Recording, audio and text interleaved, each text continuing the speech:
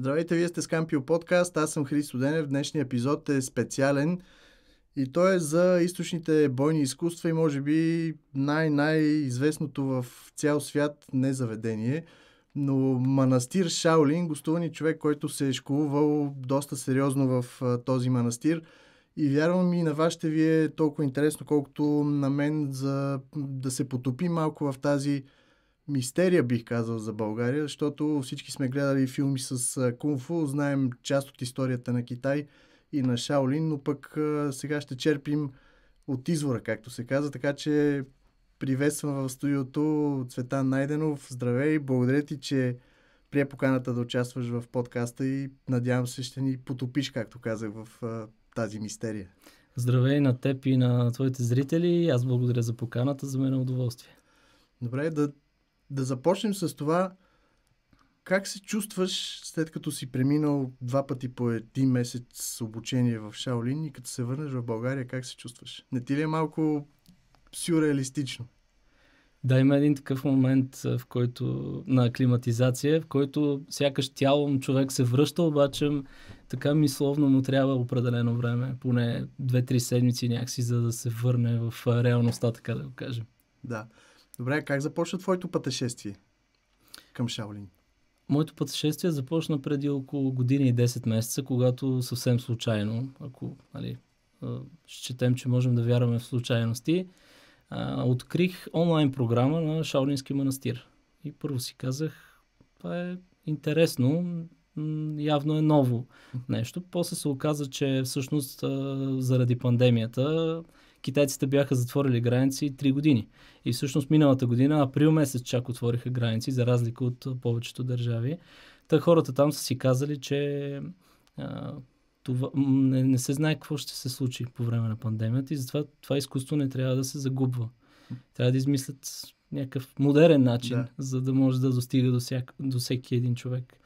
И всъщност създали са тази въпросна а, двугодишна програма онлайн, и аз първоначално а, нали, разгледах за какво става въпрос и си казах, добре, тая може би е една от многото такива програми, които сме виждали.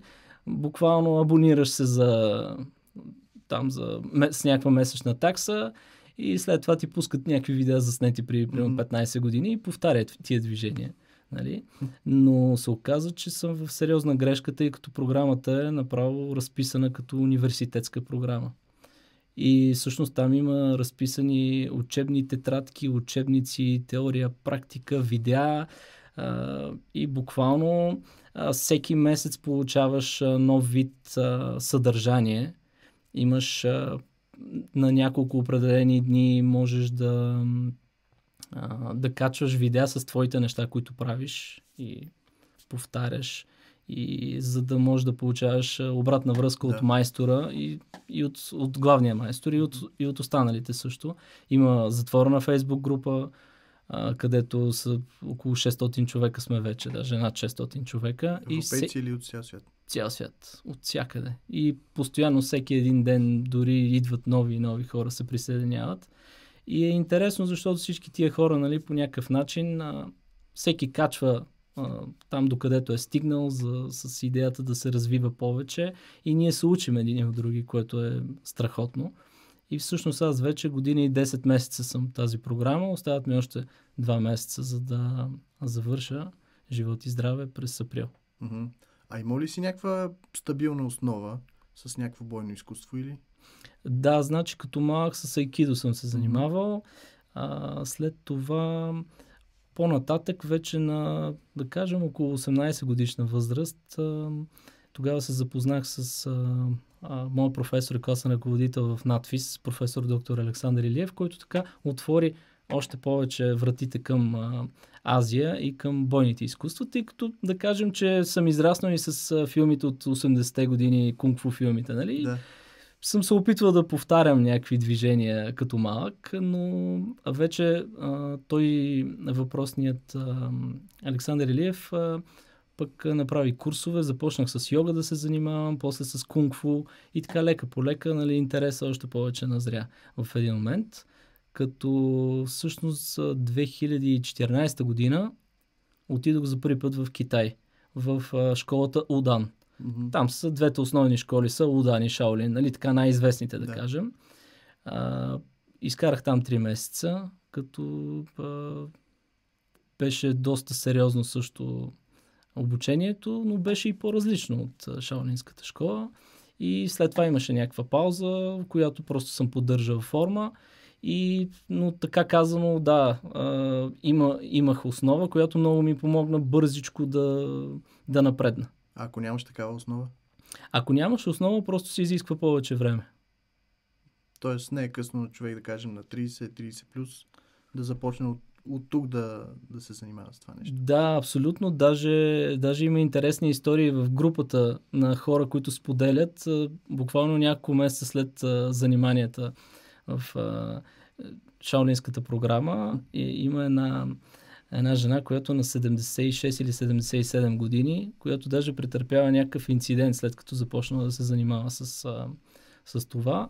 И първо, че а, качеството и на живот а, страшно много се променило в а, позитивна насока и второ, че след този инци... някакъв инцидент при катастрофа с, а, с автомобил, автомобил и удря, жената по някакъв невероятен такъв начин, както тя определя, останала без дръскотини. Там преметнала се през колата, нали, претърколила Мгм. се и тя дори не можа, не, не, не можава да повярва какво се е случило. Но така или иначе има определено позитивна, позит, позитивното от наученото там и Да. от нещата, които се прилагат. А има ли сериозна българска група, а, която се занимава с кунфу и която гледа така на, на изток?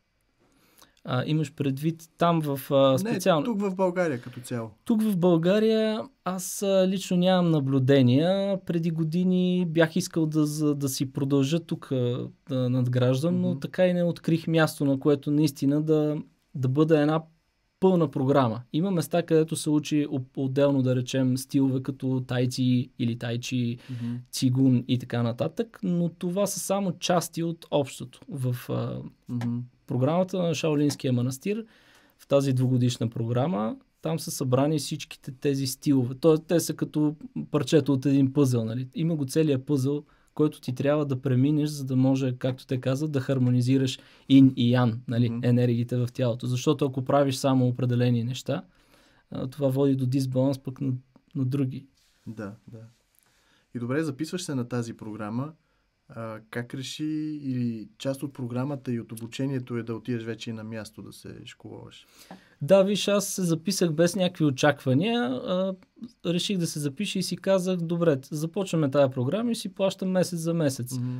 А, в Извиня, колко е таксата? Защото това също Да, предполагам, че е интересно. таксата за нещо такова според мен е абсолютно символична.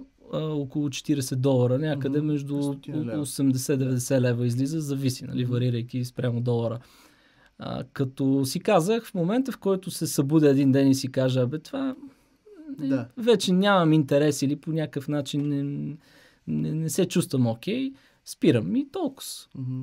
Е, вече година и 10 месеца, всеки ден тренировки, абсолютно всеки ден, без почивка. Още не съм имал такъв ден. А как тренираш? Къде тренираш? Ами на общо взето винаги намирам време да тренирам в къщи или навън. М, Като в къщи горе-долу вече съм си добавил някакви такива а, допълнителни а, неща, които да ми помагат за тренировки, но и навън. Навън а, предпочитам да е навън. Дори, дори да е студено, няма, нали, няма такова голямо значение. Мгм. А какво представляват тренировките? Правиш някакви така наречени осморки, най-грубо казано, като в гимнастиката, като в някои други бойни спортове или? Ами, да, те са а, доста, доста ра- разнообразни неща има, които, които се правят и които всъщност вече за, за, за тази години, почти за две години, доста неща имам като знания и като неща, които пък трябва да надграждам нали, да продължа да... Така че често и не ми стига времето, нали, защото а, в крайна сметка аз работя, иначе всеки ден работя делничен ден и намирам време преди и след работа всъщност да се занимавам с това. Като сутрин задължително а, ставам рано, правя упражнения преди работа, закусвам и вече отивам на работа. След това а, вечер, веднага след работа, също намирам време да, да тренирам. А ти ли си финансираш а, ходенето до Китай, а, престоя в манастира и така нататък? Ами на този етап аз, да. Да. Добре, разкажи за първото ти пътуване до Шаолин. Да кажем, че а, има доста манастири Шаолин. Първородния е ясно кое. Оттам нататък а, хора, които са минали през тази школа, си създават свои манастири. Ти в кой от всичките беше? Значи аз бях в а, така наречения манастир Хуейган. А, манастира, който е буддийски манастир, а, който а, се очаква да бъде а, източен Шаолин манастир. А, като а, там живях в самия манастир, сред монасите, т.е. там си има и определени правила, които трябва да се спазват, докато си в манастира, нали? които са доста пратиха ми една книжка от 20-30 страници, които трябваше да прочета, нали, да се запозная с а, нещата там. А, като това беше лятото на миналата година. Юли месец заминах. А, просто бях стигнал един момент, в който си казах, да, аз а, вече усещам, че искам да се кача едно ниво нагоре Мгм. и да отида на място. И разбира се, хората все пак ме познават от онлайн програмата. И всъщност тогава интересното беше, че освен, че отидох в а, манастира, изкарах там един месец, м- взех участие в едни а, легендарни а, да кажем, шампионат, легендарен шампионат за Китай, напълно затворен само за китайци, който е за побойни изкуства Мгм. благодарение на моя майстор а, Ши Янджун. А, и всъщност аз заедно с още 10 европейца, т.е. не европейца, чужденци, защото имаше и от, Да. и от щатите, човек, а, освен че участвахме там като с а, демонстрация на групово изпълнение, аз бях избран един от тримата да, да направя и солово изпълнение. Мгм. И за груповото и за солото изпълнение спечелихме златни медали, за груповото изпълнение даже спечелихме златна купа, което беше вау, нали? Защото китайците първо, че за първи път позволяват на чужденци да вземат участие, и второ, че изобщо а, не, по никакъв начин не това, че сме чужденци, не казват, добре, айде, тук ще, на тях ще им свалим летвата малко, напротив. И това беше нещо наистина страхотно. И изобщо цялото изживяване, тъй като този шампионат е като, буквално е като едно събиране на едно семейство, практикуващо а, бойни изкуства от цял свят. Бяха, а, т.е. от Китай, нали? И ние вече от, от другите части на света. Като там бяха около 350 човека. А От Какво, какво представлява този шампионат? Някакво надиграване ли е? Този шампионат беше основно обвързан с демонстративни а, форми или кати, в зависимост как а, са познати на зрителите, а, в а, различни стилове. Като а, ние показахме а, един стил, който е всъщност тук в България може би никой не знае или не, не, не, не мисля, че някой е чувал. А, Мей Хуачуан се нарича, който е а, стил, който допреди 10 на години изобщо не се е знало за него извън Китай, тъй Мгм. като е а, се е предавал от поколение в поколение, от баща на син и така, и, и е Да. бил абсолютно затворен само за, за китайци. Но естествено разбира, че в един момент, ако си го пазят само за тях, все повече и повече ще се затрие. И всъщност а, това е един от стиловете, наричани а, майката на бойните изкуства в Китай, защото е на повече от 3600 години. Мгм. Само да кажем, че китайците започват кунфу обучението си 4 годишни, т.е. малки дечици и това да дойде европейци и да бие на кунфу е нещо... Ами да, то а, някак си, то разбира се имаше различни категории, Да. възрастови, нали, но да, беше наистина страхотно. Ние също не очаквахме, но така направихме най-доброто, което можахме. И всъщност, това е може би най-големия, а, така, най- най-голямото очудване у китайците беше това, че а, груповата форма, която трябваше да направим, беше измислена, поставена от нашия майстор Мгм. и а, 10 дена репетирана от а, всички чужденци. Без мен, тъй като аз дойдох два дена преди състезанието и ми казаха след 50 часа път а, и ми казаха, абе тук можеш ли да влезеш в една форма, искаме да участваш? И аз казах, ми добре. Що не? И буквално за два дена. Но пък разбира се, това не означава, нали, това означава, т.е. не означава, че два дена от нулата съм започнал. Напротив, аз хората са преценили, че съм имал базата, за да мога да вляза бързо и без да има нужда да ми обясняват базови неща. Т.е. просто да вляза и да науча движенията. Т.е. поредността на движенията да. в съответната форма. Каза 50, 50 часа. Какъв ти беше пътя? Предполагам София, Истанбул, Пекин? Не, пътя, пътя беше много странен, тъй като два пъти ми променяха полетите. И всъщност пътувах София пътувах София Мюнхен, Мюнхен Лондон, Лондон Чънду, mm-hmm. Чънду Циндал. В Циндал, който е град на морето на изток, а, там а, изчаках а, може би 7-8 часа имах изчакване. На следващата сутрин дойде да ме вземе кола. Mm-hmm. И пътувахме още 3 часа и половина с кола, mm-hmm. докато стигнем до мястото високо в планината. И аз бях, нали, като представи след 50 часа, там на 2-3 часа някаква дрямка тук да. там е. И като оксиженист, нали, гледах така. но, но да, част от изживяването. А какви ти бяха първите впечатления, като видя манастира? Ами, все едно си бях вкъщи. Не мога да... В смисъл, така, такова беше усещането. Mm-hmm. Прибирам се от другото ми вкъщи, нали? Да. Защото в България си ми е вкъщи, разбира се, и аз а, винаги, където и да ходя, винаги с най-голямо удоволствие се прибирам в България. Да. Обаче, там все едно си бях в, като вкъщи. Веднага, що ми показаха стаята, настаних си и просто си беше...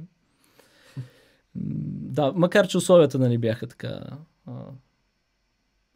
доста по-различни от, а, от условията, които имаме тук, например, нали, с общи бани и така нататък, но те или иначе аз, а, моят фокус а, беше свързан с това, за да отида там и да взема колкото се може повече знания и нищо друго нямаше значение.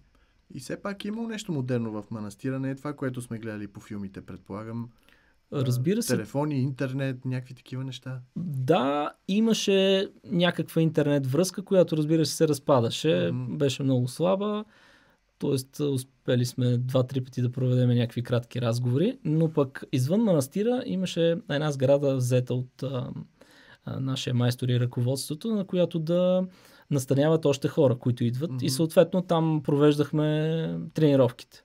Да. Като първата седмица която аз отидох, се хранехме и в манастира. Uh-huh. И спазвахме съответно и правилата там на манастира.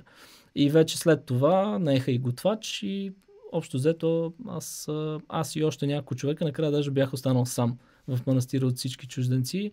А, се прибирах да нощувам, uh-huh. така казано. И през деня, но през деня, нали, от сутрин, дете се вика до вечер сме на тренировка и и сме долу в така, идваха, училище. Идваха, идваха ли туристи да ви, да ви гледат, да ви О, да, да. Да, бяхме, бяхме атракция, естествено. Да. Имаше много туристи, тъй като и манастира и такава туристическа забележителност, mm-hmm. така че редовно даже бяха организирани и автобуси с училищни автобуси mm-hmm. с деца и разбира се, като видят някой малко по-различен. и вниманието от манастира се обръщаше към нас, нали? И имаше снимки, като бяхме като някакви такива известни личности там, а пък също и в, по време на състезанието, всичките там, които бяха отново погледите бяха към нас. Нали, съвсем нормално, все пак сме различни, а пък и за първи път нали, се появяват такива хора там а, за, на такова състезание от този ранг. Да, да, да.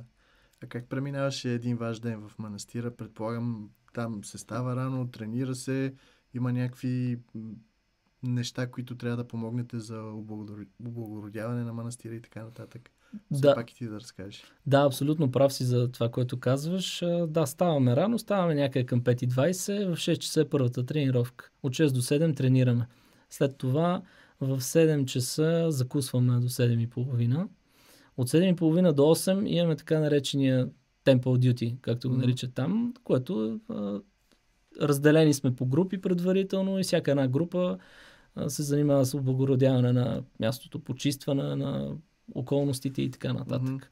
Това трае половин час е, и вече от 8 до 8.30 имаме някаква кратка почивка и вече в 8.30 започва тренировката, основната тренировка, която е до, продължава до почти до 12 часа в 12 часа обядваме, имаме време да си починем до 2.30 и после започваме наново от 2.30 тренировка до 6 часа. Малко преди 6 часа. 6 часа вечеряме и случи се една седмица дори да имаме тренировка а, в, а, там от а, 7 до 8, но тъй като беше по- по-горещо и започнахме вместо в 2.30 в 3. Нали? Аз не, не можах да разбера голямата разлика, да. защото просто а, температурите там стигаха до 36-7 градуса, но с влажността и с всичко да. се усещаше като 46-7. И така да, но да, имаше няколко такива дни, които бяха много горещи. Използвахме по-късно вечерта да тренираме, макар че нали, там си има някои определени правила и неща свързани с енергиите, които не трябва да се тренира късно вечер, тежко натоварване, т.е. трябва да е леко и така нататък. И след това вече 10 часа, 10 часа трябва да гасим лампите и лягаме. Обаче ние имахме и вечерен час, тези, които а, бяхме отседнали в манастира, 9 часа. Mm-hmm. И до манастира се стигаше по едни стъпала, които ни се струваха безкрайни. Те бяха на над 400 стъпала, водеха до манастира. Това са две тренировки тежки. И да, а, а по някой път се случваше и за, за обяд се прибирахме догоре, за да си починем. Да. И си викаш, айде, тъкно сме тренирали, хапнали сме и сега ни стъпала. Викаш, той гати почивката, докато се качиш догоре и после трябва да се връщаш обратно. И така, но то пък, а, нали, както майстора се изразяваше тогава, а, казва така, кунквото ти ще стане още по-добро ниво, защото краката ти ще заякнат още повече. Да. Да, да, да. Каква беше вашата група? Много ли момчета тренирахте там? Предполагам има и жени. Също. О, да, имаше. Даже аз, когато си тръгвах първия път лятото, бяхме, да речем, горе-долу имаше около 5-16 момчета и поне 10 на момичета. Така че жени момичета има... А всички ли бяхте европейци или? Не, имаше, имаше американци, а, индийци, буквално от, от цял свят. Става просто чужденци, не, не местни момчета. Чужденци, да, а пък аз а, първите две седмици и половина пък бях в стая в манастира с а, едно китайче, 13 годишно китайче, с което си а, общо взето той му учеше на китайски, аз го учих на английски и си живеехме заедно. И, и, и така, Появиха се в някакви моменти се появяха, тъй като тя групата, там един си отива днес, друг идва, постоянно има заминаващи, да, пристигащи. Да. Кой за една-две седмици, кой за една-две години, защото и такива хора има, които mm-hmm. а, буквално за повече време остават. Та, появяваха се от време на време и китайчета в групите, но като цяло а, школата, която е към Шаолинския манастир на, на моя майстор, е основно за обучение на чужденци. Чувал съм, че китайците, които започват от много малки, направят някакви невъзможни тренировки на ръба на възможностите. От тази гледна точка, учителите ви бяха ли малко по-снисходителни към вас или? Ми, се, имам чувство, че може би са били, но в същото време, като се сещам за тренировките, си викам, бе, май, май не са чак толкова а, защото а, като цяло ние правехме, всъщност тя, тя програмата е ясна и е една за всички mm-hmm. и ние се водехме по нея, така както са обучавали от едно време, така както и майсторите ни са били обучавани. Нали, разбира се, с разликата, че а, има, има неща, които така казано, според тях, ние сме закъснели да, да започнем да правим, mm-hmm. тъй като не сме започнали от малки. Да. Например, има нещо любопитно, което според а, моя майстор, е това, че на, на такава възраст, ако да речем не си се занимавал с акробатика от малък, mm-hmm. не е здравословно в дългосрочен план да се занимаваш те първа да учиш акробатични елементи, защото това уврежда вътрешните органи. Mm-hmm. И това ще се случи с времето. Тоест има някои неща, които са нали, на, на база на дългогодишен хиляден опит, нали, да. което се знае. А ти бил ли си някога така на ръба да се откажеш, примерно, да зарежеш всичко? А, имаш преди от тренировки? А, от... Да, физическа немощ. Да, всеки ден. По няколко пъти на ден. Ами да, защото там е...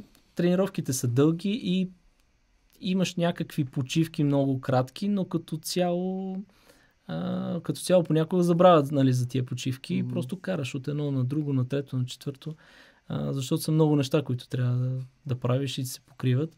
А, ня, никога няма да забравя, нали, това беше най-трудната тренировка, която съм имал изобщо някога. Нали, цял живот като цяло се занимавам с а, някакъв вид движение. Да. Така че и имам и някаква такава богата физическа култура, но това беше една тренировка, наречена Power Training, която правихме в петък. А, петък е ден за Power Training, като а, беше дъждовно, освен всичко, навън. Значи 3 часа бяхме без спиране. Какво ли не правихме? Ама сувалки правихме. Обикаляхме едно езеро с... Качваш един на гръб, правиш една Да. обиколка тичайки, после той те качва обратно. после, па, а, после 100 подскока.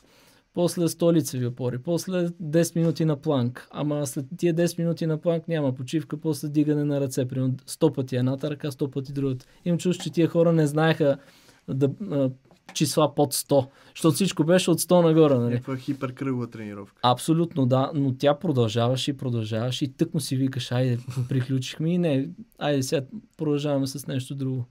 И, и това, това беше наистина, наистина усещаш един момент, в който а, буквално волята те превежда през някакви места. В смисъл ти отдавна си минал предела на силите и викаш, абе, нещо продължава да ме държи, нали? Не, не се отказваш обаче.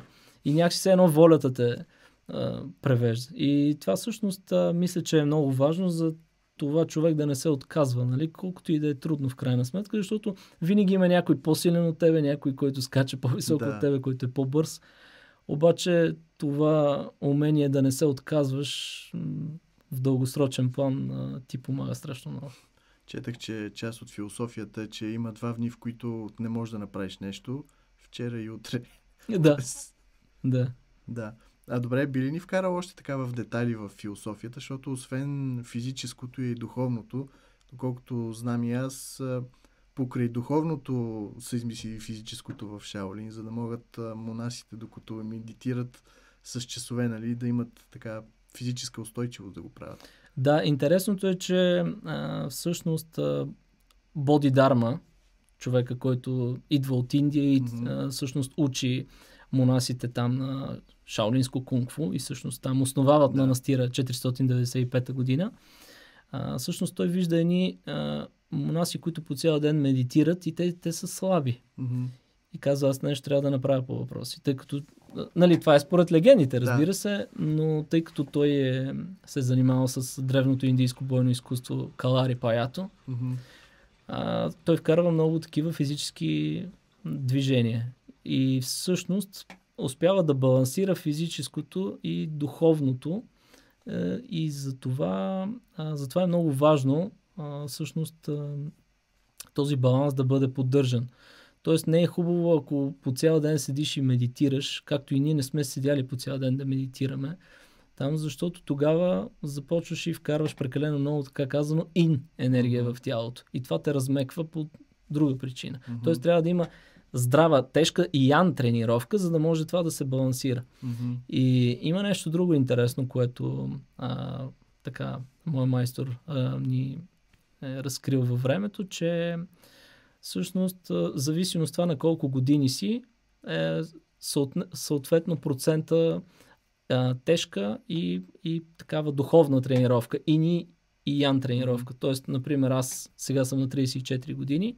Ако си между 30 и 40, трябва 30% ин тренировка и 70% да бъде ян тренировка. И Мгм. това почва да се изравнява колкото повече устаряваме и Мгм. да се обръща цикъла. Тоест, Защото ако си по-млад, трябва повече да тренираш, по-малко да медитираш. Да, да. И ние всъщност а, имахме, разбира се, имаше, тъй като програмата е а, пълна, т.е. и по начина по който, за да може този баланс да присъства, а, всеки ден сме имали ин тренировка, така наречена, или примерно цигун, т.е. сутрин, сутрин се правят по-леки неща като цигуни, тайци, с меки, бавни движения, събиране на енергия, дишане, Мгм. което е много важно. Тоест, все едно отиваме да си заредим колата в, а, на бензиностанцията, за да имаме после с това гориво през целия ден да, да използваме тая кола или съответно нашето тяло, за да правим тежките тренировки. Мгм. И вечер може да успокоим отново с а, може да направим някаква медитация. Другото, което е интересно, което а, се казва а, моя майстор, от което аз имам и така лич, лично преживяване, мога да гарантирам, че това е така, е да не правим и да не медитираме тогава, когато сме неспокойни. Много интересен е момента, в който хората казват, когато човек е неспокоен, ти трябва да отидеш да медитираш, за да можеш да, да се успокоиш и да се изчистиш от тези неща. Идеята обаче е, че точно обратното се случва, защото ти по някакъв начин, нали, както обясняват китайците, това е много събрана ин енергия, която ти не, не си правил достатъчно... Неспокойствието е. Неспокойствието е... е събрани... Да, събрана, събрана енергия, която ти изведнъж целенасочено започваш да я раздвижваш тялото, като се опитваш да се отпуснеш. Тая цялата енергия те връхлита по брутален начин и може да се получи обратния ефект, който се е получава. Аз съм изпитвал това на гърба си. И за това е важно, а, а, според тях, първо започваш с а, да, да укрепиш тялото си с тежките тренировки и след това вече да наливаш, нали, както казвам, да, да, да изваеш чашата или съда, който, mm-hmm. в който вече да сипеш течността, която има, а не обратния, по обратния ред. И да. Това е много интересно. Живеем в такова доста забързано време, в което безпокойствието е доста сериозен фактор и влияе много на хората. Били разкрил някакви такива лайфхакове, как да се справим с такива неща. Айде да не, да не е чак с паника, так или нещо от сорта, но все пак винаги има едно такова чувство на тревожност в хората, у някои хора. Не винаги, но има. Да. Да, ами... Какво, какво трябва да, прави, да се прави? Виж, на мен аз преди години бях стигнал до момент пред паника така, поради там много лични mm-hmm. проблеми, които се бяха събрали. И всъщност се опитах да медитирам тогава, mm-hmm. за да се из... и... за да се освободя. Да. И се случи точно обратното. Да бях наистина на ръба на паника така и тогава тялото ми, просто се вслушах в тялото ми и си казах, нали, първо няма да се предам, нямам да. представа какво е това. Тогава тялото ми искаше да се движи. Както казва, вече по-късно разбрах. Тоест с, с движение аз спрях тези, тази паника така да не да. се случи. Просто тялото ми искаше, правих лицеви опори, тичах из вкъщи, какви ли не неща, но нали, не, и, и всичко отихна. И си казах, брей, това е много интересно.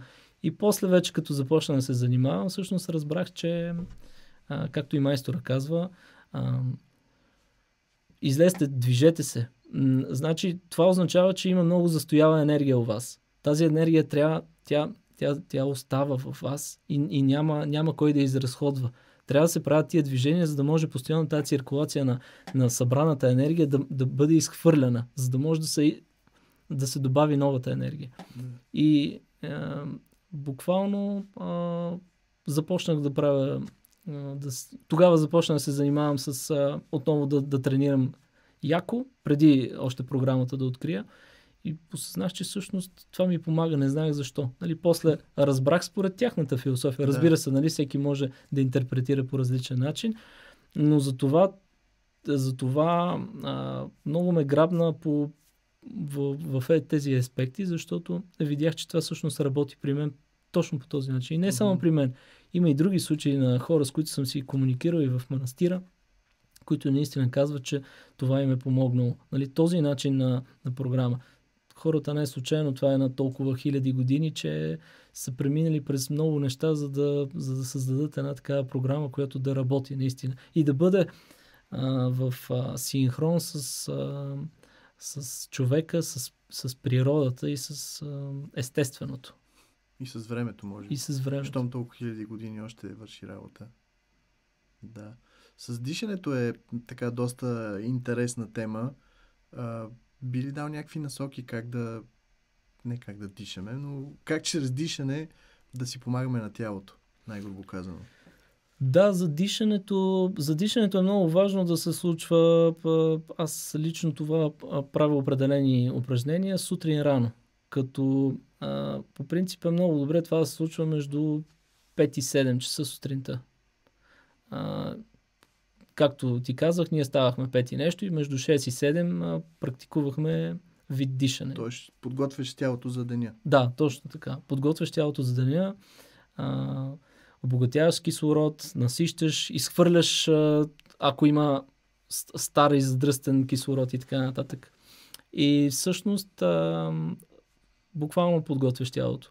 Като а, на мен много, а, много ми помогна и правя неща свързани с и, с, и от цигун, така наречената система за дишани и упражнения, и от Мей Хуачуан. Mm-hmm. Това бойно изкуство, за което казахме, че всъщност то е майката на бойните изкуства в Китай. То е много интересно. По интересен начин изглежда спрямо другите стилове. И има едни пет позиции, които човек сутрин е достатъчно да отдели 10 на минути. Пет позиции, в които да диша в тези позиции. Mm-hmm. Счита се, че това са избрани позиции, отново във времето с толкова хиляди години, че те отварят и меридианите в тялото на човек, според а, китайската традиционна mm-hmm. медицина. По този начин се насища и правилно се а, из, изчезват всички блокади в тялото на човек. Тоест, ако те вярват, че ако, да речем, има някакво схващане някъде на някой в, в човек, без значение поради, от какво mm-hmm. е породено, това е а, блокирана енергия на това място. Меридианите са така наречени енергийни канали, по които считат, че тази енергия се движи. Ако има блокирано място, това означава, че енергията там е спряла и трябва да се правят определени упражнения, за да може енергията да продължи плавно. Когато човек започне да, да прави, да този, тези а, пет упражнения, които са специално от Мейхла Чуан, а, те са така, така създадени, че да, да отблокират енергията в 12-те меридиана на човек и да, а, да спомогнат за възстановяването на основните органи в тялото. А, много интересни случки имам аз след доста практикуване на... Да. А, смисъл доста, просто от натрупване Да. във времето, включително и в манастира. Като отидох още, тъй като два дена ти казвам, че а, се подготвях а, с, а, за да мога да, за, да можем да пътуваме, да отидем на това състезание. И аз правях доста повече тренирах от останалите Мейхуачуан а, движения. В един момент си спомням, че се прибрах а, в манастира, нали, то мисля, че беше на втория ден към обяд. И разбира се, всичко ме боли.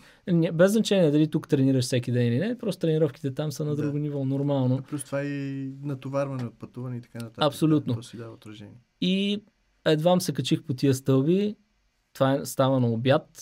Слънцето високо пече и си викам, мале, тук след обед, че е тежко, цялото тяло е схванато, а, мускулна треска навсякъде и отидох да си легна.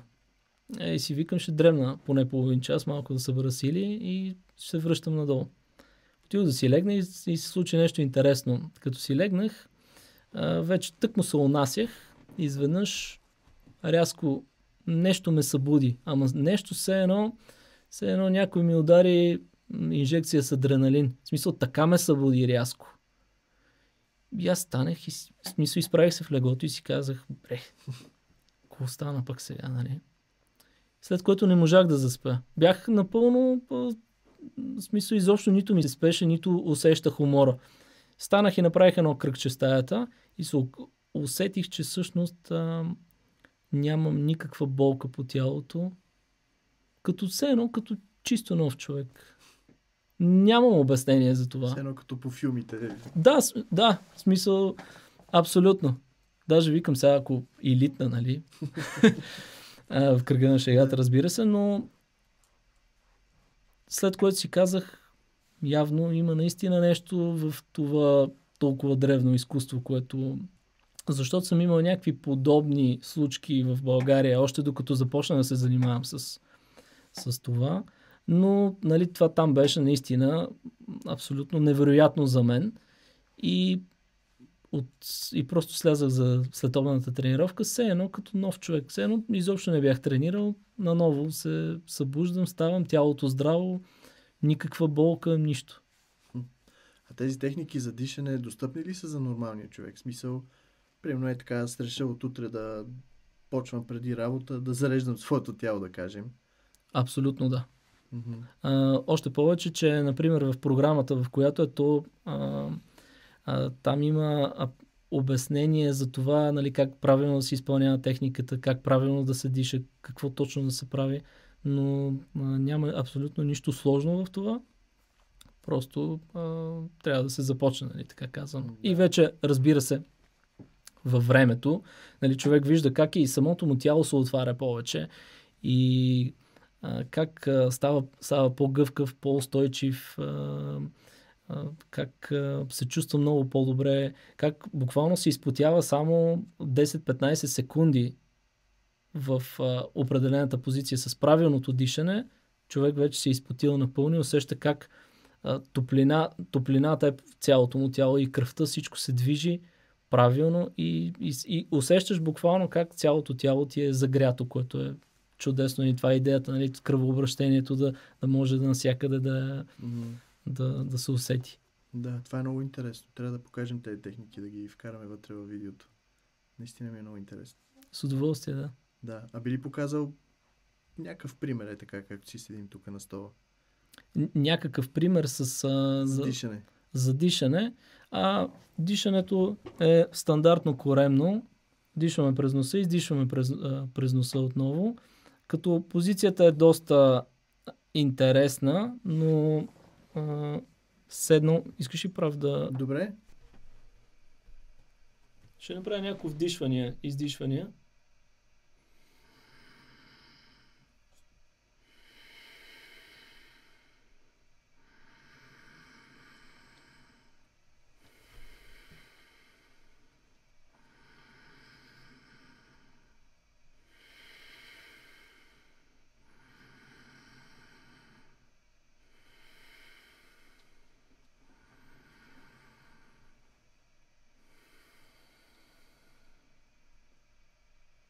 Идеята всъщност в а, определената позиция е, че а, човек при вдишване се опитва да... Защото а, този стил е... А, този стил е с много големи движения. Идеята в, а, при, определен, при вдишването човек се опитва да разпъва нали, в тази позиция, която показах, ръцете в двете посоки, колкото може повече да ги отвори и да ги разпъне. След това при вдишване, при вдишване отпуска мускулите. След това отново се опитва. И това нещо се прави, значи, може, може между минута и 3 минути да се прави, може и повече. Нали, ние се налагаше да го правим това за изпитите, тъй като ние полагаме изпити всеки месец. Да. Се налагаше да достигне момент, в който да задържим тази позиция и да го правим 3 минути в посока. Мгм. След това следващото движение и така нататък. И а, позицията, която бях направил аз, относително висока. Позицията на, на, на тялото, на краката. С напредване вече във времето и а, увеличаване на уменията, човек трябва все по-низко, по-низко и по-отворено, по-низко и по-отворено. И това съответно нали, намалява пък времето за стоене, защото наистина е много, много трудно да се стои в ниските позиции. Но това пък, разбира се, разширява възможностите на човек. Да, тук си гледам телефона, защото един въпрос ще прочета. Бях пуснал в стори в Instagram и в Facebook страницата на подкаста да зададат въпроси за това, че идваш. Въпрос е, питай за дишането и подготовката на мозъка и в кои съвремени спортисти вижда нещо подобно. Дишането, дишането е изключително важно в а, всеки един аспект и то не само в това, което нали, тук показах. То е неизменна част от а, всяко едно движение, което се прави след това. И винаги има, има един момент, в който а, майсторите винаги обръщат внимание на това. Дишай и се отпусни. При определено движение, ако трябва да се нанесе удар, нали, ръката е стегната в момента на удар и, и след това трябва да се отпусне тялото. Тоест, всяка една част се стяга, стяга се само частта, която работи и във времето, за което ни трябва за работа. След това веднага трябва да се научим да отпускаме тялото. И това е един много тънък момент, който не много хора го знаят да го, да го правят. И всъщност дишането е обвързано с всяко едно такова движение. Нали? Тоест Мгм. трябва няк... ам, трябва един такъв... А, т.е. трябва много Синхрон. синхрон, много тренировки, за да, за да достигнем до този синхрон. И, но то това е изкуство, което според мен аз имам чувство, че колкото повече научавам неща Да. и знам, имам чувство, че нищо не знам. Да, да, да. То още повече, че в последните години ти каза изкуство, то даже и наука вече дишането, като че ли. Да, да, абсолютно. И има и много примери нали, за много а, различни а, хора от цял свет, които използват практики, Мгм. които често практики са заимствани от Азия, разбира Да. се, нали, от Индия специално, като все пак а, място, където започна и йога, дишане и така нататък, а, та, които по някакъв начин са дори те през собствената си призма са успели да дори да видоизменят малко, но да им помага за определени а, дейности. Мгм. И наистина, наистина да, да, да помага като цяло за по-доброто съществуване. Е Дори, дори човек да не се занимава с някакви конкретни дейности, в които му трябва, той дори трябва да се научи правилно да диша само през, дори в ежедневието си. А за някой спортист сещаш ли се втората част на въпроса, който ти е направил впечатление? За, за някой спортист, който ми е направил впечатление, специално тук в България, Ами, не, може и световна звезда да е. а, с... А... Ами да кажем, Хабиб Нурмагомедов е един от, според мен, от тия хора, които... Мисля, ти го виждаш, че- че той е спокоен. Виждаш го, че- виждаш го някакси, че хем е спокоен, хем е готов през цялото време. Хем е някакси е отпуснат и когато трябва, тогава стяга и удря и жили като оса или там какъвто и термин да използваме друг. А, за него се сещам така просто, например, Виса със сигурност има много други спортисти, но а, да, той е един от тези, които мисля, че е на, на подобен принцип. Страхотен пример, трябва да ти кажа. Да. Добре, би ли ни вкарал още в а, така тънкостите, които учи кунфуто и философията на, на кунфуто? Малко повече да кажеш за тези неща. А, да, а, кунг-фу, както казва и моят майстор, кунг-фу е живот, защото всъщност това е живота. Кунг-фу а, реално а, преведено от китайски не означава бойно изкуство. Ушу Мгм. значи бойно изкуство. Кунг-фу означава време за реализация или време за усъвършенстване на дадено нещо. Мгм. Тоест, а, да кажем един пример. Твоето кунг-фу на водещ на подкаст в интернет е много по-високо от моето кунг-фу на водещ, защото аз нямам подкаст в интернет. Тоест, всяко едно нещо, в което ние се опитваме да ставаме по-добри, е, е нашето ниво на кунг-фу в дадена област. Затова а, майстора казва кунг-фу е живот. Всичко, което правим. Нали, всеки като чуе кунг-фу и веднага си представя там едни Да, хора нинджи. се да, подскачат, нали, летат там над покривите, бият се и така нататък. Да, ние там също а, редовно правим спаринги. Имаме, защото то е, то е част от цялото нещо. А, но, но то е едно, едно парче от целия пъзъл. Мгм. Нали, както ти казах, например, дишането, а, всичките тези различни стилове, които са вкарани и които правим. А, то интересното е разнообразието, защото, да речем, тай, тайджи или тайчи е много меко. Шаолин е твърдо. Мгм. А Мей Хуачуан е много отворен и голям, отворен стил. Уинг Чун, например, е много затворен стил. И, и този, този баланс и това, тази постоянна смяна а, от стил в стил а, е страхотно богатство, защото човек нали, трябва постоянно, особено в началото е много трудно, нали? Както казваха а, първите месеци, в които се занимавах, първо започнах, понеже имаше няко, там една-две форми а, Шаолин стил, които аз правех и трябваше да представям. И след това се занимавах с Мей Хуачуан. И казаха ми, твоето Мей Хуачуан изглежда като Шаолин. И аз не го разбирах това в началото. В смисъл някакси до някъде го разбирах, ама тялото ми не го разбираше. Мгм. Тоест трябва известно време, в което а, а, тяло, да позволиш на тялото ти, за да, да, да го разбере. И а, всъщност, а, затова казвам, че кунг-фу е живот, нали, защото те, нали, както и майстора казва, защото това са много неща. Нали, това е, не е само да се грижи за себе си чрез практиките, които можеш да изпълняваш, mm-hmm. но това е да се грижиш за близките си, за семейството си, а, да, да направиш едно добро дело. А, всичко това е кунг-фу. И всъщност това, което майстора казва е, че много искам да виждам добри, едни добри хора. В смисъл, важно е за мен кунг-фу да ви направи едни добри хора, а не толкова да ви направи едни добри бойци. Да, да ви направи бойци в живота, а не в, нали, в определени елементи. Да ви изгради цялостно като, като личности, защото а, и, и, и това са някакви такива а, моменти, в които човек наистина осъзнава, че той става по-добър в определени елементи, ама не нали, от днес за утре. Аз ето днес вече съм по-добър в еди кое си. Или от утре ще правя малко по- повече добри дела.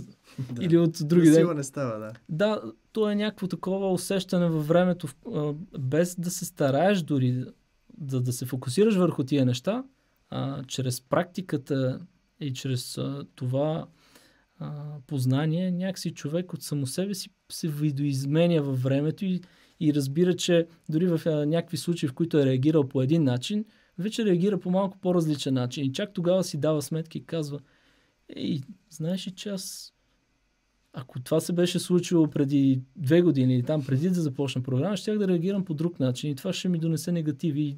Да. И, и после си правя някакъв анализ. Нали, аз поне за себе си обичам да си анализирам определени ситуации и да си, и си казваш, наистина а, има нещо, което отново е а, отново е време за усъвършенстване, кунг-фу. То е във времето, ти не можеш от днес за утре. Спомням си а, един а, младеж, който се появи преди няколко месеца и каза, аз а, понеже имам опит в кунг-фу, може ли тия две години да ги взема за 6 месеца? И те му казаха, ми не може. Няма значение, че имаш опит. Ти може в някои неща да си добър, добър но пак тия натрупвания и, и тази а, комплексност тук от неща, защото това пак е като, като общ комплекс от всичките тия неща, които ти трябва, всичките парчета на пъза да. трябва да наредиш. Просто трябва време, не можеш от днес за утре. И, и затова, е, затова е много а, страхотно това също, защо, и защото а, зависи от теб. Им, има хора, които започват програмата и тренират там 3-4 месеца, показват, а, а, нали, а, пращат редовно видеа, да. връща им се обратна връзка изведнъж изчезват. И след 2-3 месеца се появяват пак и, и почват да пишат някакви съобщения към майстора. Нали, извинявайте много, аз тук там се развали колата и после отидох на едно село и там после баба ми нещо. И, и майстора им казва, а да, и, и всъщност те казват, че не сме, нали, не можехме да тренираме, нямахме време и така нататък. И всъщност майстора им казва, ма не се извинявайте на мен, извинете се на себе си, пред огледалото. То си е за вас, аз си го знам това, нали. Аз го правя това, аз живея по този начин. Аз искам на вас да дам, искам вас да ви накарам. И всъщност аз затова казвам, че това е нещо, което правя всеки ден. И интересното е, че, нали знаеш, има един момент, в който а, някакси дисциплината и постоянството те кара, абе, времето е лошо, някакви моменти всеки не се чувства да. окей, обаче, обаче се насилва да го направи това определено нещо. И там за тренировка или каквото и да било. Интересното е, че аз още не съм имал такъв ден. Нямам ден, в който okay. да кажа не ми се прави това или нещо, ми, или нещо вали дъжд или... Не, с огромно желание. Да, има моменти, в които мога да тренирам само по 15 минути или по 20 минути на ден, обаче тия 15-20 минути на ден съм абсолютно концентриран върху това. Абсолютно нищо друго не ме интересува. Без значение дали съм вкъщи, дали съм навън. Всичко изчезва и съм само аз с движенията и с, а, и с нещата, които правя. И може би това е също един такъв момент, в който кунг-фу учи на такъв изолиране от цялата среда и концентрация върху определено нещо, което мисля, че помага и в а, всяка една сфера. Трябва да ти кажа, че аз съм имал такива дни едно време, като тренирах хандбал и съм пропускал тренировки и тогава чувството беше може ли съм толкова глупав, сега вместо да, да тренирам си губа времето, игра на компютъра и така нататък. Въобще има го този момент на гузна съвест след това. Надявам се да не го изпите след време.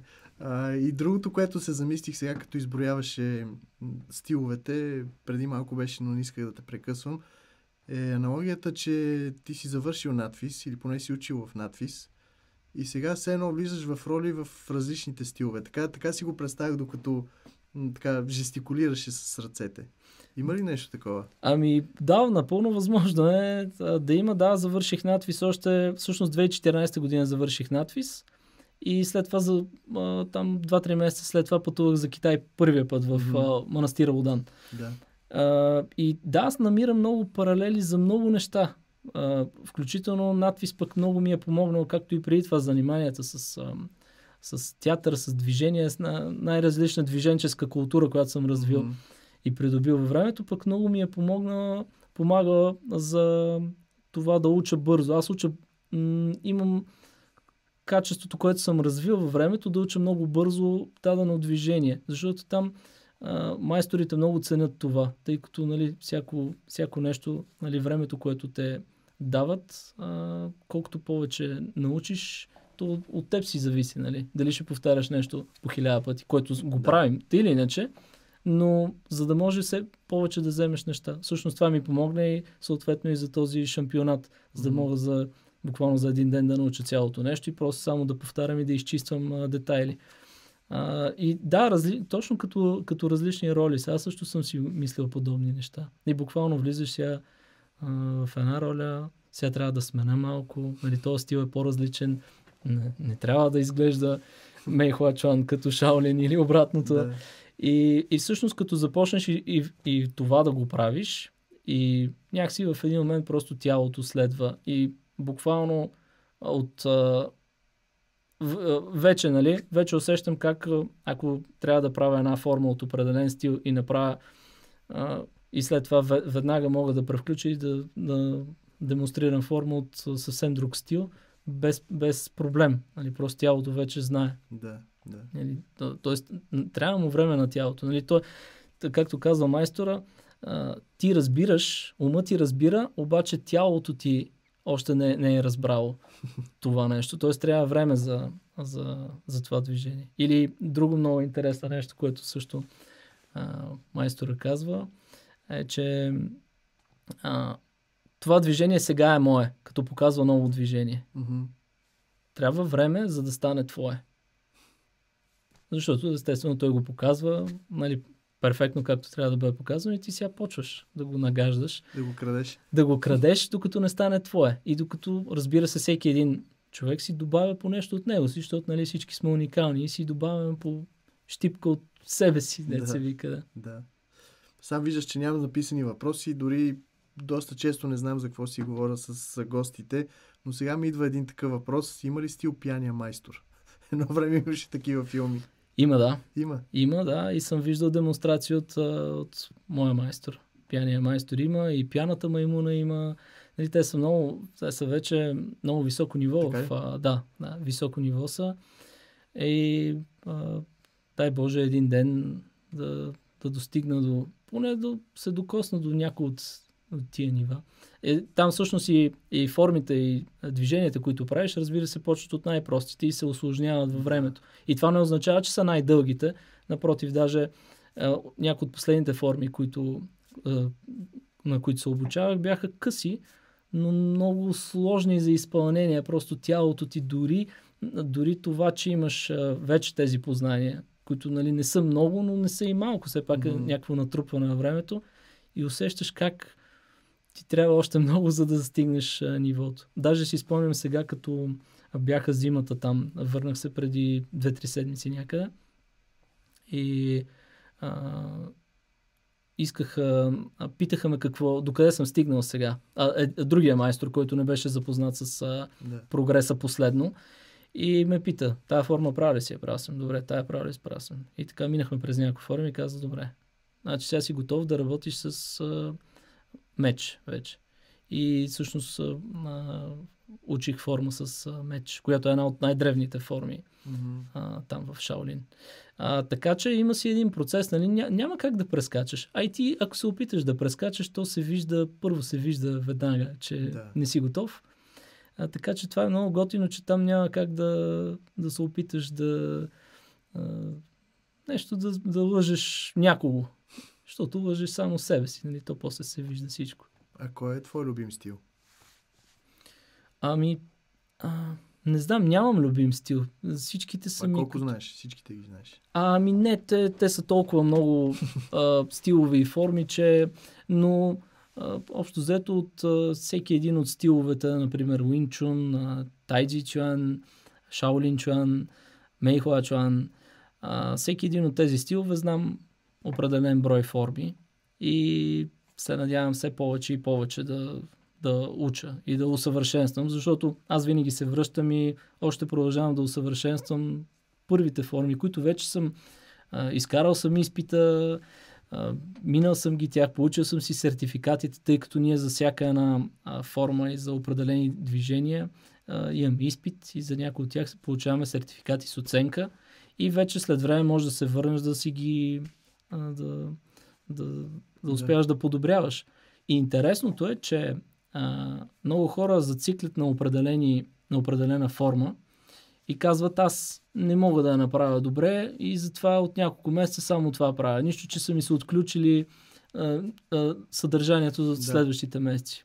И това е погрешно. Нали, съответно от а, майстора казва, почни да правиш другите неща. Защото това, че тези стилове са различни, правейки другите неща, ще видиш как ти ще се подобриш и дори да, Да. се върнеш след време на форма от друг стил, ще видиш как тя се е подобрила неимоверно, което също е много интересно. Просто защото всяко нещо пак, както се казва, ин и ян, нали? Да. То е и бяло и черно, ама в бялото има малко черно и в черното има малко бяло, нали? Всяко хем е различно, хем, хем са заедно, върват са заедно. Да. Няколко пъти каза Уинчун. Тук в София по-скоро Винчун му казват. Винчун, да. Даже има и доста школи в София специално. Предполагам, че е същото. Да, да, абсолютно същото е. Абсолютно същото. Там а, един от майсторите, също от Шаолин, той е и майстор по Винчун, да кажем. А, и той, освен майстор по Винчун, даже в а, доста, доста години е бил в а, киното. И като каскадьор, и то в големите филми, с, включително си е партнирал с Джеки Чан, с Джет Мгм. Ли и така нататък. Не, не, най-големите Да. а, актьори. И, и интересно, защото пък а, той, той дава а, от него пък а, много неща за Винчун може да се научат, ама и много неща а, покрай всичко това за, може да научиш и за, за киното там, там как се е снимало, какво mm-hmm. са правили, интересни истории и така нататък. И общо взето майсторите изобщо, с които аз съм имал възможността да, от които съм имал възможността да уча са, освен на майстори на невероятно ниво и много страхотни хора са, като човеци. Да, да, да. Има ли иерархия след, сред мора, мона, монасите? Тоест, да кажеш, вашия манастир най-големия, има ли от другия манастир някакво сравнение? Не знам дали ми е разбрал въпроса, но да. Да, а, виж, Както примерно е в каратето с черните колани и дановете и в тайкондото Да, и така нататък. има го, има го, тук се наричат Шаолин Дуан. Мгм. Дан Дуан, Да. да. А, като всъщност а, моя шифо или моя майстор е най-високия ранг, най-високия дуан сред всички шаолински монаси на планетата до днешна дата. Това исках да. да. Той е седми дуан, мисля, че са девет, Мгм. но разбира се, това не означава, че освен, че уменията са му просто на най-високо ниво и той си е покрил изпити и така нататък, а, това е до определен дуан. След това обаче не можеш да се осланяш само на уменията и на, Мгм. на това, което можеш ти. А, трябва да си допринесъл много за бойното изкуство, за философия и така нататък. Тоест това означава, че просто човек е направил страшно много за развитието на китайските бойни изкуства, за Да. е, изобщо за направил е много неща за развитието и за и е подпомогнал. За, за, тоест тя е комплексна, почва да става комплексна оценката, нали, вече, освен Да, да, да, уменията и всичко друго. А, и така. Ако трябва да ги сравним, примерно с известните личности, Джеки Чан, може би и Брус Ли е най-така известния, а, как да го кажа, не носител на кунфу, ами човека, който е направил толкова популярно това изкуство. Имаш ли представа те кой дуан са били? Нямам представа дали са били, не са ли били, mm-hmm. нямам никаква представа. Нали, това, а, пак казвам, то може да има много големи майстори, които да не са взимали, да, да, да, да. да не са минавали през... Са в някоя селце и да... Да, да а, но, но като цяло, първо, а, а, мой майстор е а, на абата на Шаолинския манастир, на официалния Шаолински манастир. Mm-hmm. И лично избран от абата на Шаолинския манастир, той да бъде а, те го наричат хедмастър, нещо като директор-учител mm-hmm. на цялата школа. Тоест това изобщо, нали, защо той, а не някой от да. всичките останали. А, наистина човека, а, освен, а, освен това, че е много добър като уменията, които има и шампион по санда, който е техния кикбокс. Mm-hmm. А, шампион на Китай по санда преди години. И човека има а, много знания за културата, за философията и за... Тоест, нали, пак е една комплексна личност, не е просто много добър в да. а, а, кикбокса или пък в философията. Той всичко това го е събрал на едно. И освен, че е много добър в тези дейности, той е и много добър като човек. Да. И всичко това ти дава плюсовете, нали, ти добавя към mm-hmm. стойността. Да, има ли връзка между религията и Шаолин? Да кажем, ако не си будист, можеш ли да влезеш там и да тренираш и така нататък? Да, разбира се, както а, споменаха, хора от цял свят има, всеки с различната си религия. В смисъл, може християни и мусулмани. Абсолютно. И, и, и се е случвало и в групи, в които а, хора, които са идвали, а, изобщо това нещо остава на заден план. А, ние както и майстора казва, тук сте дошли да се обучавате на кунг-фу. Mm-hmm. А, ние сме свързани чрез, както той казва, а, ние сме свързани чрез ти или ци или енергията mm-hmm. наоколо. Това ни свързва. Дошли сме за това и а, всичко друго остава на заден план, без значение. И там са се събирали а, нали, от цял свят хора, които а, интересното е, че има някаква такава много по-дълбока връзка сред хората, които сме били там и сред а, хората, с които аз съм се запознал и съм срещнал, които поддържаме отношение до ден днешен с всеки един от тях. В смисъл, някакси една такава дълбока връзка на приятелство, на братство, което... Това е преди да посетите Шаолин? Ами Или това, след това? Това е след, след, след това. И по време на престоя. Някакси намираш нещо в тия хора, които, което наистина е по-специално като, като връзка с да. тях, с които оставате след това, като буквално а, обединени от, от тази енергия. Без значение кой къде се намира, някакси го чувстваш този човек много близък. Как те промениха тези две посещения? Аз с, с а, този въпрос общо взето почнах и подкаста, защото знам колко е трудно да се върнеш в реалността, пък камо ли от такова място, от което ти идваш?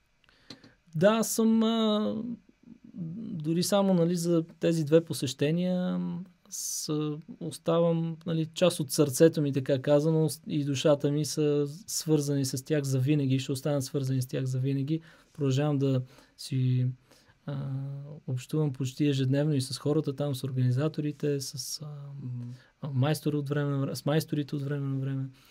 А, по-скоро са някакви позитиви, такива, които а, освен на страхотните приятелства, а, уменията, които а, се а, формират в, а, в мен и са се формирали и надявам се да продължат да се формират mm-hmm. а, изцяло а, чисто а, психически и физически се чувствам много по-добре. А, много стари контузии си излекувах, между okay. другото, да, на болешки в колене, покъщи стави и така нататък. В смисъл, за много неща ми помогна чисто на мен, а оттам виждам, че а, покрай мен и хората, с които общувам, някакси има, има някаква разлика, има, има нещо по-различно от преди. Нали, не го казвам, че съм станал някакъв специален да, или нещо да, такова, да. обаче виждам една сякаш все с все добри хора има около мен. Все с, а, с, а, с все, все по-хубаво виждам, че, че се случва. Има, има нещо интересно, което там в Китай също казват, което е а, думичката за щастлив е а, кайсин на китайски, което превод на двете, двете отделни думички означава отворено сърце. Mm-hmm. Тоест те считат, че отворено сърце значи щастлив. И всъщност това, което майстора казва е бъдете с отворени сърца. Защото, нали, а, да кажем, че ние го използваме думата емпатия, може би, mm-hmm. но бъдете с отворени сърца и ще видите колко повече отворени сърца ще има сред другите хора. Нали? И правете добро, опитвайте се а, да бъдете добри хора и ще видите как а, а, дори е поединично, където и да се намирате, вие малко или много ще променяте, дори ще бъдете за хора за пример и ще променяте средата около вас в по-добра. Това е много хубаво като за финал, обаче ми идва още един, още един-два въпроса ми идват и са свързани пак с филмите и с Холивуд. Има ли такова нещо като левитация? Може ли да се постигне? Не знам, аз лично не съм не виждал. виждал. Чувал съм а, за случаи а, от а, хора, които са били в, а, най-вече в Индия. Mm-hmm. А, не съм виждал. А, там а, другото интересно, може би, за, за Шаолин и за хората там е, че да, те наистина имат страхотни умения, mm-hmm. но в същото време, а, според мен, не, хората не трябва да очакват, че нали, буквално тия се носят над земята там да, с да. 10 см и, и, и е нещо много специално, божествено и така нататък. Mm-hmm. Това според мен с а, пак кунг-фу филмите са виновни и за това, да. нали, от една страна, макар че изглежда невероятно. Разбира се, много преекспонирано, да. за да изглежда така. Но а, трябва да знаят хората, че това са едни обикновени хора като нас. Да, да с определени умения в а, дадени области, разбира се, но ние, нали, всеки човек иска да отиде при най-добрия, за да бъде обучаван и да, и да пие от извора, нали, ако може. Поне аз така съм а, научен, че ако искаш нещо да, да вземеш нещо, иди провери и пи от извора, защото да. там е... А виждал ли си нещо невъзможно, което правят тези монаци, на ръба на свръхестественото, да кажем? Ами, на свръхестественото чак не, но а, имаше а, в... А, всъщност ние на въпросното състезание бяхме три дена. Първия ден отидохме, втория ден беше цял ден състезанието и на третия ден ни качиха в една свещена планина при един свещен манастир, където правихме демонстрации отново на тези неща пред широка публика там. Но имаше демонстрации от много от а, хората, които и от участниците. И, например, имаше един а, а, дядо, там на, не знам, няк... айде, около между 60 и 70 годишен, който чупеше речни камъни с ръка. Ама ги чупеше като бисквити, нали? Знаете речни камъни какво са? Аз ги видях с очите си и ги пипнах, защото те бяха до мен, тъй като всеки, който излиза, преди да излезе, реди си нали, реквизит или там, така казано, какво, с каквото има да излиза и да показва до себе си. Речни камъни, дигаш ги и викаш това, нали, абсурд. И човека просто, дори имам видеа снимани с а, това малко отстрани и чупеше ги на две, на три, на четири. Имаше някакви такива случаи, които... А, един, който беше седнал до мен точно тогава на, на тази демонстрация в този ден, беше 80 и няколко годишен старец и едвам се движеше. Едвам се движеше, докато стигна обаче до мястото, където трябва да, mm-hmm. да вперат всички поглед в него и да направи това, което прави. И там беше нещо невероятно. Нали? Заставаше на някакви обърнати шпагати само на, на пръсти, на юмруци. И викаш, този човек, нали, как, какво става? Той, той рязко се променяше. След което нали, приключва всичко и той пак, дори леко прегърбен, бавничко му помага да се прибере до място. Сякаш си пази силите, изстрелва се, разгръща се напълно и след това отново се, а, се събира в себе си. А, имаше такива ситуации и такива моменти, в които виждаш нали, за нас малко невъзможни неща. Да. Но в същото време пък на база на, на нещата, които ние правим, разбираш, че те всъщност са доста възможни. Тия неща просто изискват много време практика. Както да. а, а, за хора, които и с теб си говорихме за това, че а, има, има такива, които, например, практикуват а, железния юмрук. Да.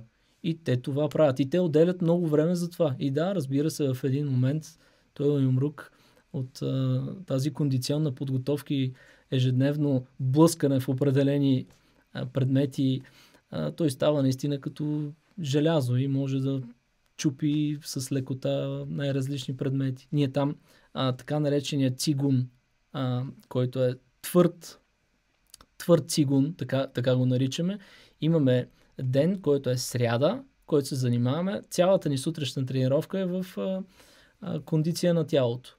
А, многобройни повторения, едни в други определени части на тялото, mm-hmm. като почваме ръце, глава, гръб, а, корем, едни други се налагаме да се вика. си го както в кикбоксера Томпо, както блъскаше да. по градата. Да, да, да, абсолютно. А, за всяка една част на тялото. И това като се прави постоянно, нали, там вече а, коста заздравява още повече. А, и, и всъщност а, е възможно да се случват и такива неща. Спомням си първия ден, в който а, трябваше да правим това нещо, което обаче само в манастира го правят, защото трябва под зоркия поглед да. на майстора. Това го няма в онлайн програмата. Mm-hmm. А, и, няма, и, и майстора не иска да поема никаква отговорност, да каже тук прави блъскай се, нали, да. как си, кой знае какво ще направи някой, нали, да. не дай си Боже. Та, спомням си, правихме едно с желязно гърло, което буквално а, по двойки, един си опъва си ръката това пред тебе и си слага на твоето гърло и ти се опитваш да натиснеш напред. Mm-hmm. И първия път имаш чувство, че тази ръка ще излезе, пръстите ще излязат отзад, нали? И лека по лека това, като продължиш да го правиш, усещаш, че а, аз това вече не, да. не се усеща така. И, и в един момент а, вече почва с тояга, с тояга срещу, стояга срещу друго дърво. Примерно местиш другото дърво, стоиш в някаква позиция, поместваш го и стоиш, задържаш. Плавно и постепенно нали, надграждаш и разбираш, че всъщност някои от тия неща, които са ти се стрували невъзможни, а, казва си, я чакай малко, ми аз вече Mm-hmm. Усещам, че съм много по-напред и че това, което ми се е струва части невъзможно, мога да го правя. В кръга на шегата последното ниво е с меч, сигурно. Да, да, но има, да. Има Добре. с острие, има с копие. Да. остро копие се забожда и вече а, човека, човека го натиска и го огъва го до... Ма, т.е. това не е някакво бутафорно и не е специален ефект. Има не, не. Даже имаше един момент, в който някаква демонстрация правеха. Един от нашите майстори чупи желязо с главата си. А, показваше там нещо и едно парче желязо. Нали? Издрънча в главата и на две се щупи и ти го виждаш. Смисъл, взимаш ги двете парчета и викаш, да бе, желязо е. Нали? Няма, няма измама в това. И дори и пак си казваш, добре, аз знам как да стигна до това ниво. В смисъл, знам стъпките как мога да стигна и аз може би до, до някъде. Да. Дори не до там, до където те са стигнали. И пак си казваш, е, това изглежда нереално. Да. В смисъл, там си виждаш го, докосваш го и пак си кажеш, абе... а не си ли мислил да предадеш всички тези знания в България, на хората в България? по някакъв начин? Дали ви тренировки, семинари? Ами, надявам се да има тази възможност. Да, мисля съм го. Включително съм го коментирал и с а, хората от Шаолин. А, първият път, в който бях а, след а, на края на престоя ми, защото на края на всеки престой а, те ти дават диплома и а, има там официално завършване, така казано. И освен на диплома с а, наученото а, по време на престоя, ми дадоха една червена малка книжка, която всъщност а, се оказа, че майстора дава съгласието си аз да стана негов последовател, когато mm-hmm. завърша програмата. Което означава, че живот и здраве бих станал а, следващо поколение шаолински монах войн. Mm-hmm. С, там се дава конкр... а, определено име шаолинско. И Какво е то... е твоето? Аз нямам, защото не съм станал ага, последовател все още. Да, да, има възможност. В смисъл, онлайн програмата не ти, го, не ти дава тази опция. Онлайн програмата ти дава опцията да ти дадат преподавателска mm-hmm. тъпия. Съответно, аз вече имам а, сега от последния ми престой, а, взех за асистент преподавател mm-hmm. официално. И сега, живот и здраве, април-май, когато отида пак, на завършването на програмата, ще си взема за преподавател. Mm-hmm. Но освен това, майстора избира определени хора, шепа хора, на които предоставя възможност да станат негови последователи.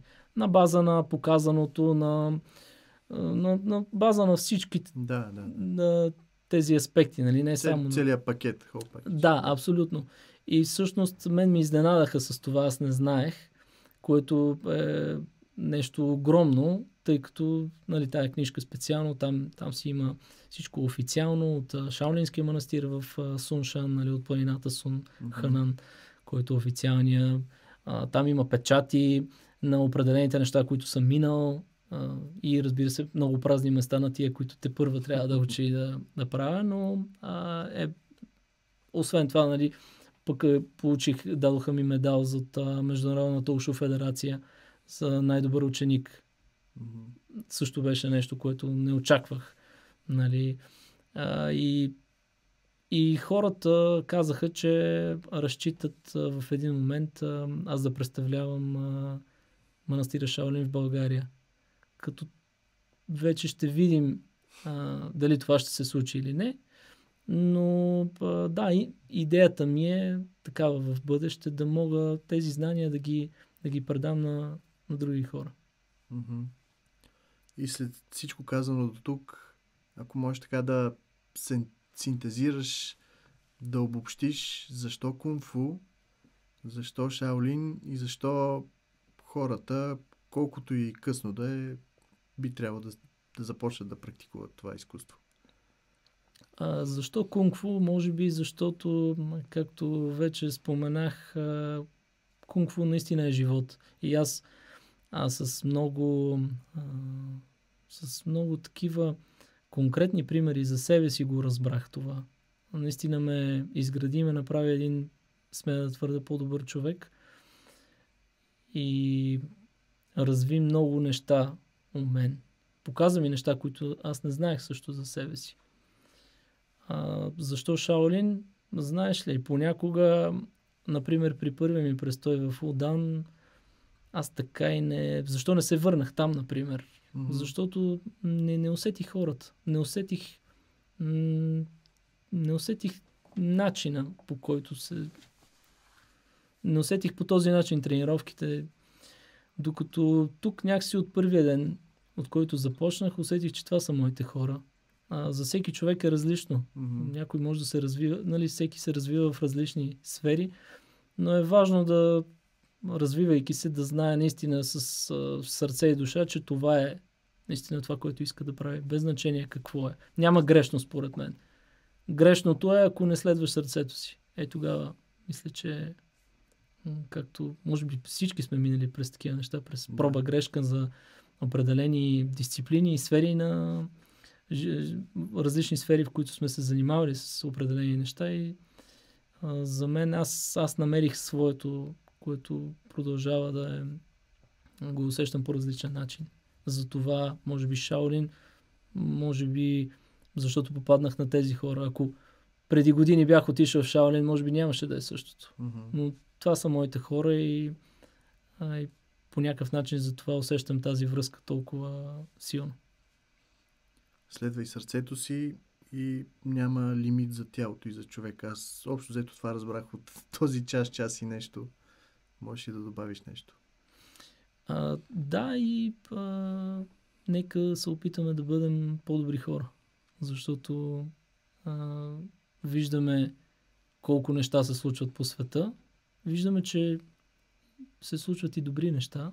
Като че ли повече се дава а, възможност на лошите да бъдат показвани заради, може би заради рейтинга.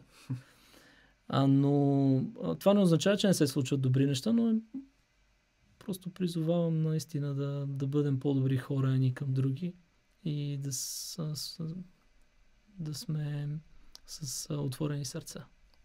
Благодаря ти за това гостуване. Наистина, след всеки епизод казвам, че ми е харесал супер много, но този така ме заради доста и емоционално като цяло. Надявам се за зрителите да е било така.